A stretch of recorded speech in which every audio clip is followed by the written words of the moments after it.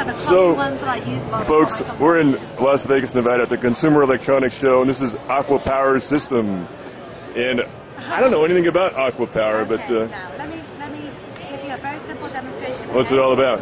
Now this pa- this battery is powered by any sort of water-based liquid. Yeah. Uh, water, Coke, uh, beer, coffee, Beer? tea, Wow. anything. Okay. So come for an emergency, you can power it by urine or or the saliva. You- now pump it in with this little pump that we provide. Yeah? Okay. Okay. So it's this, it this is the Aqua Power, bottle. folks. You put any correct. kind of liquid in there. Any kind so- of some kind of water liquid, I guess. And, That's correct. and then you turn, and then that's this. Oh, we're going to turn it off, save some power. Wow. Well, how long will that battery last? This battery will last. For example, we make uh, these little alarm clocks for Coca-Cola, Yeah. okay, and it will last for about two years. In the two years, there will be four to five cycles that you have to do a refill because Oh, the yeah. battery's gone dead, right? Wow. So these are all rechargeable, but they, all you need to do is take the battery out, do a refill. Here we go. Here we go. Water, Is we refill the water. We refill the water. We, we put it back in there. And here we go. Watch this. Watch this. There you go. We have power.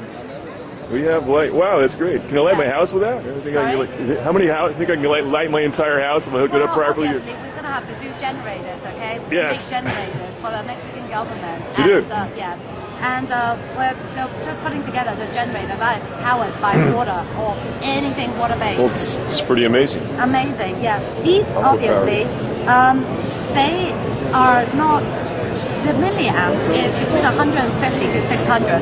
The conventional alkaline hmm. batteries is a constant of 800 milliamp. Yeah. So we can we support the. This is best to support the low current household items, not designed to support CDs, Wii games, cameras, Oh, yeah. stuff like that. So I can't run my car off of it yet. huh? Well, I tell you what, these this is a, a crummy one that I made for the convention, but this Yeah. is what the Japanese sell in, in Japan now. They are, each battery is individually wrapped. Do you know why?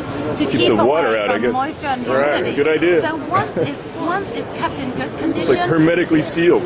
and it keeps And how long will indefinitely. So as long as you keep it dry, you're good. So So emergencies, dig it out on your flashlight when your car breaks down.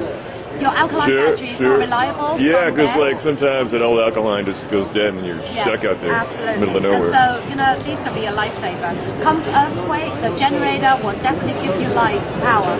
There it is, Aqua Power Systems, folks. You saw it first at Consumer Electronics Show in Las Vegas, Nevada. And uh, what was your name? Uh, My name is Fiona. Fiona. Thanks a lot, Fiona.